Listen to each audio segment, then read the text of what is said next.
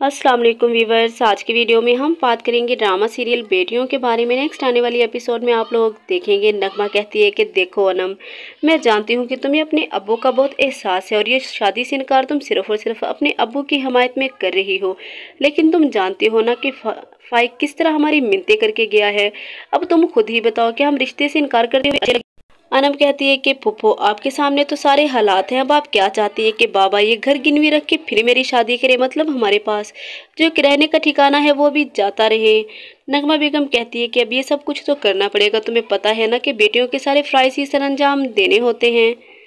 अनम कहती है कि देखे, बात तो सारी फूफो शादी की है ना? तो हम ऐसा करते हैं कि शादी थोड़ी सी डिले कर देते हैं। जैसे ही हमारे हालात ठीक होंगे, हानिया की जॉब होगी, बाबा की जॉब होगी तो फिर से शादी कर लेंगे। नगमा बेगम कहती है कि मुझे नहीं लगता।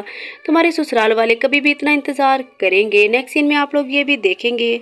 दानिश को जैसे ही फारिस के रिश्ते के बारे में पता चलता है तो वो फ़िज़ा से बात करते हुए कहते हैं कि फ़िज़ा, क्या तुम इस रिश्ते से खुश नहीं हो? फ़िज़ा कहती है, आप खुद ही बताएँ, क्या मुझे इस बात की खुशी नहीं होगी कि फारिस, जिसको मैं अपना भाई मानती हूँ, और मेरी खुद की बहन फारिस के यहाँ आ जाए, लेकिन पता नहीं क्यों मुझे फिर भी ये काम करते हुए डर लगता है। तुम जानते हो ना, अपने मामा को वो तो कभी भी नहीं मानेंगी। और मैं नहीं चाहती कि ज़बरदस्ती कोई भी रिश्ता मुसलत किया जाए, क्योंकि मैं जानती हूँ रिश्तों को कैसे निभाना है, दानिश कहता है, खैर, तुम्हारी सोच बिल्कुल अच्छी है, लेकिन तुम देखना हानि एक दिन इसी घर में आएगी। ये सब आप देखेंगे आने वाले एपिसोड में, मिलते हैं नई वीडियो के साथ, तब तक के लिए इजाज़त।